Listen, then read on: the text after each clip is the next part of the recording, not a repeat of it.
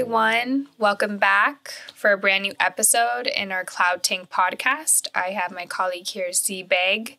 My name is Joe, and we are very passionate about cloud computing um, and interested in the digital age and how everything's changing so fast. So, thank you for tuning in today. Z, how are you?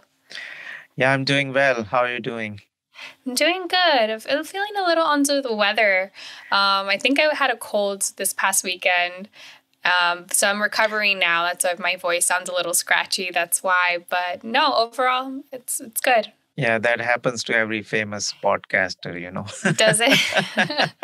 so, yeah, I mean, uh, also welcome to our viewers and uh, thanks for joining. Thanks for listening. And the feedback of this podcast has been very positive and uh, yes, we read comments and people enjoying uh, us talking about cloud computing in yeah. general. And what what what we are talking today, Joanna? Today, we are talking about infrastructure as code. Um, we're talking about the benefits, how it works, why it's important for any digital business. And I think we're going to introduce some of the products that are um, well known in the industry to help you get started if you're interested going this route. Why don't you explain a little bit about what infrastructure as code is and what the process is like? Yeah, absolutely. So, problem with the infrastructure as code. Basically let's again uh, before talking about new concepts or something you know uh, latest technologies i always uh, try to go back to the traditional it problems you know. So it used to be like we we had like uh, for example whenever we start a new project we had to estimate how much hardware we need how much uh, servers we need how much hard drives we need networking and all different you know type of physical things okay where we will put our servers all these things we have to estimate before even you start the project and uh, right. with cloud computing that has changed so now now you don't uh, that estimation part is out of you know of the equation okay. but now you are more like okay i need these servers i need to you know get things up and running quickly and uh, that's how basically now people go with it but the hmm. problem mm. comes with it like okay you are keep building services on services on services on services in the end you lose track okay where you were how many services you are using right and uh, how much uh, for example in development environment are you using for example uh, medium size uh, ec2 instance or virtual machine or in production you're using large size or what is basically all different parameters of configuration that you have built on AWS, I mean, or in the cloud services. I mean, uh, it's pretty easy to spin up services in the cloud. You just click a button, it spins up. Uh, you select different options, what region you want these services to run. Mm. Um, but uh, how you keep track of these things? How you can can you easily repeat those steps? Because if somebody has already, for example, launched the servers if that server goes down, you have to actually start the same settings, configuration, and everything again. Hmm. So the concept of infrastructure as code was formed. That hmm. uh, the idea behind is very simple. Is like, can we write uh, a, a, code, hmm. uh, basically the programming language where you write code and set of instructions you write so can you write a program or set of instructions that how our infrastructure should be? And when you run those instructions in, in any cloud provider, connect with your cloud provider, it's automatically spins up mm. the hmm. same infrastructure, Process, networking, basically. everything, uh, hard drive, servers, networking, and all these security settings, policies, whatever your desired state is, is already spins up. Okay. And that saves a lot of uh, prob, uh, I mean headache. Uh, mm. Now you are you can easily repeat that. For example, if server goes down, you can spin up the same infrastructure again and again. You can create multiple copies of it, and uh, so that's basically infrastructure as a code. It's basically set of instructions to the cloud provider that how my infrastructure should be, what type right, of software should be installed on these machines, what type of server should be, what is the mm-hmm. size, what is the hard drive, what is the memory, and all these things. Mm-hmm. And it's it's basically be- makes you repeat that process again and again. So it help really helps with reusability, repeatability versus before where you I'm assuming you had to do all these processes manually, right?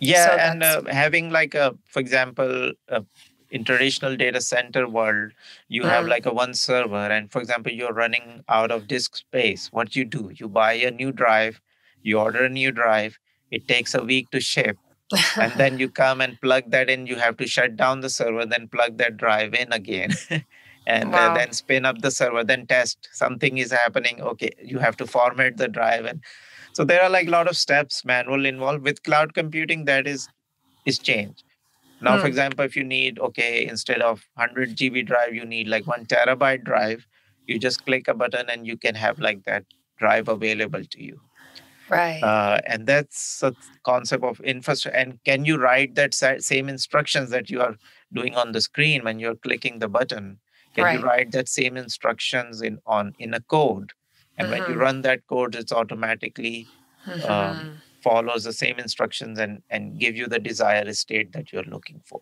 right so why is using infrastructure as code why is it important like what hurdles are we avoiding when practicing this I mean, it's a it's it's a big uh, time saver, you can say, mm. and uh, you can. Uh, the biggest benefit, in my opinion, is uh, to track the code changes. Okay, who has changed the infrastructure, and who is the person actually mm. change, uh, and what is the actual changes. Okay. So that is the main important thing. for example, who removes this file from the server? For example that okay. is also one thing. Uh, yeah. That is like a common problem. Hey, I deleted this file by mistake. And uh, if you don't have infrastructure as code and things like that, there are like different categories of infrastructure as code as well. And I think today we are just talking about more specifically to infrastructure, but there mm. is like also a part called configuration management tools as well. Uh, but uh, we'll be talking more into it. Um, but uh, infrastructure as code is like okay, I need these servers to spin up and uh, these these network settings and all these security settings and all hard drives and uh, everything. I can write set of instructions and I can track those changes over there. So, okay, for example, tomorrow I okay. need like three servers instead of two. I can just add to my configuration program. I and in my basically uh, code and just run that instructions again and now we'll have three servers so now you yeah. can easily track, okay, we used to have two servers, but now six months ago, for example, we now have three servers. Right. So that's the main benefit is, it, and it's again, you can track changes, who did what, and also like other benefits like what I explained. Scalability. Yeah. Yeah, I'm sure it helps like streamline deployments, helps to, re- you know, for speedy recovery. Are there any other benefits um, that you would, that you think of yeah. So, for example, uh, is uh, you talked about like deployments. Yeah. So, for example, um, uh, with the cloud, there is like one concept. It's called muta- mutable infrastructure. For okay. example, uh, I have ten different virtual machines running and five different uh, lambdas or uh, serverless functions running and all these things. Mm. Um, and if I want to test a new application, new feature, with cloud computing, what you usually do instead of like deploying the same code into the same server, you actually create a new set of uh, servers or maybe oh. new set of environment completely, um, which which is like similar to what what you are doing last time. You mm. already have, but you spin yeah. up a new environment and you test in that environment everything that if it's working all together and so that gives you a confidence that okay my code will work because yeah. i'm i'm i have a set of instructions written i've just executed it and it's like a repeatable process so that's okay. a um, so if i need like three different environments to test it like i have dev qa production or uat or staging i have just same set of instructions i can spin up the same you know environment and okay so that's kind of a streamline that. Again, another benefit could be like recovery. For example, mm. if your uh, infrastructure is down, for example, in one of the region, uh, when, for example, we are talking about AWS, they have recently issue with uh, some of the region, for example, US East one services were down. If you have those code already configurations and everything is written as infrastructure as code, you right. can just deploy the same thing into a different environment, into different region, right? And uh, uh, because it's repeatable, you will have like a same services in available in a different region. I mean, there are better ways to design your uh, solution for high availability and scalability, but yeah. we are just talking like a, some of the benefit of infrastructure as yeah. as code. Um, okay. Yeah, another benefit could be like consistency, which already talked about it. Yeah. And reusability, version control. You you can control who did what change and mm-hmm. again uh, if the code is is on the in the in the files or in, in form of writing it's easy to document as well. You everybody can understand okay what type of basically code is. Okay. Okay what about some of the products that are available in the software technology industry? Yeah so the uh, every cloud provider have their own thing. Okay. You know so aws for example CloudFormation uh, okay. is is the name of the technology. You write CloudFormation script. Um, the way you write CloudFormation is like basically a language, a YAML or JSON is a couple of uh, uh, standard industry standard languages. You can say. Um, uh, these are not really a languages YAML, but yeah. it's it's a, like a, the way you write your code. Um, it's like a markup language okay. or J- JSON. So YAML stands for yet another markup language. Oh, okay. as, as, a joke, it started. and uh, JSON is like a JavaScript object notation, uh, which is like a easy uh, to define all these uh, elements. What what your uh, per, um, basically what what your infrastructure needs. So AWS, the service is called CloudFormation. Uh, Microsoft Azure mm. has called Azure uh, resource manager. Uh, in short, we called it ARM templates. So um, basically, it's like whenever you spin up a new service or something, you can actually download the code about it as well. Um, mm. And uh, everything you actually click on the screen, it generates a, a code, which which is a neat feature in Azure. Yeah. And in AWS, uh, you have a, a tool called um, basically CloudFormation you can have like set of instructions written there and just spin up. And i think in google cloud also it's called deployment oh, manager. oh, okay. So every cloud provider provides that. Uh, but um, uh, the more uh, if you have a for example solution that works on multiple cloud uh, for example oh. you have some services is running on aws some is running on azure some is in google.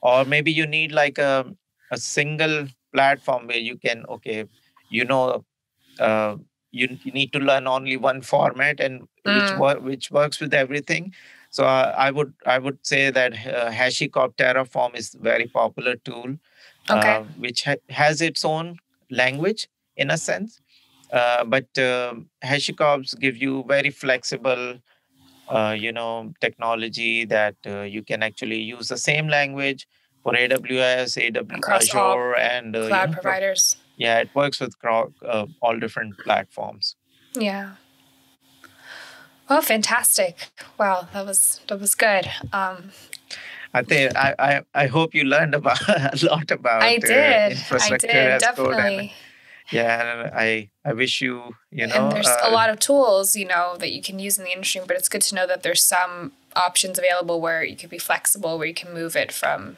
managed service to to different platforms. So yeah, very interesting. Yeah, I mean it's always fun talking about cloud computing, and um, I'm I'm very and excited. it's essential, are, right? Yeah, it's so important in today's digital age. If you haven't adopted it yet, in some way, shape, or form, you will be soon. yeah, if you have any questions uh, to learn more about cloud computing or any technology in general, you can reach out to us yeah. Uh, at our email uh, info at datanextsolutions.com. It's D A T A N E X T solutions.com. Um, so you can reach out to me. My name is Z or Joe uh, mm-hmm. on this, and we would love to hear your feedback. And yeah, and you can also follow us on social media as well. I'll link our profiles in the detail show notes. Um, but thank you so much, everyone, for listening in and catch us back next time. Thanks, yeah, thank, thank you.